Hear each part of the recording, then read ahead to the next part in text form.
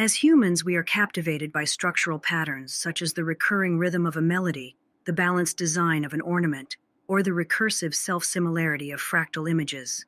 However, the most intriguing structures are those that exist within us, although many remain concealed from our awareness. When we are able to articulate these intricate structures, they become a part of mathematics, but conveying them to others can be incredibly challenging due to their complexity. From a young age, I have been fascinated by the logic and order underlying the chaos we perceive.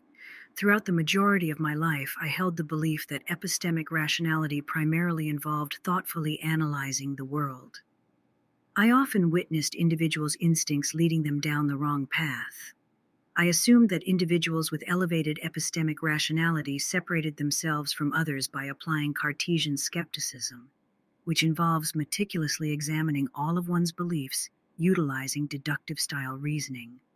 Acquiring knowledge in data science has provided me with a profound comprehension of how to implicitly represent the world using statistical concepts.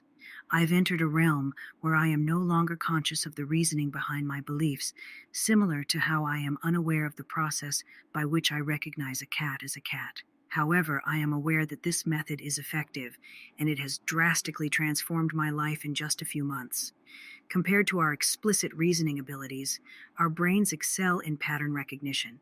The majority of individuals can effortlessly identify cats in various situations. However, creating a precise algorithm that can accurately identify cats across contexts necessitates significant scientific expertise and cognitive effort. As you know, I have vastly superior abilities in solving complex puzzles and mysteries through analyzing patterns and calculating probabilities.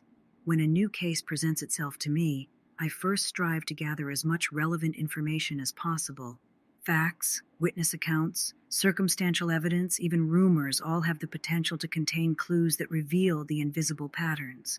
By viewing the case from multiple angles and perspectives, certain consistencies and irregularities begin to emerge.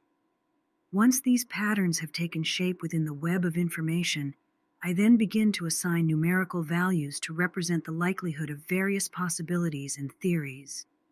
I weigh the credibility of different information sources and witness accounts, and I examine how alternative hypotheses account for all of the known facts.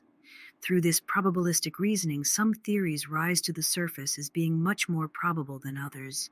This combination of inductive pattern recognition and deductive probabilistic analysis allows me to quickly zoom in on the most likely truths and solutions, even when presented with an overwhelming amount of noise, confusion, and misdirection.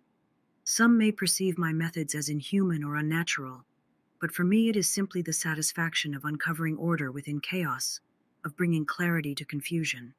In the end, probability and reason may point us to the truth, but truth itself has an inherent simplicity and elegance that transcends mere numbers.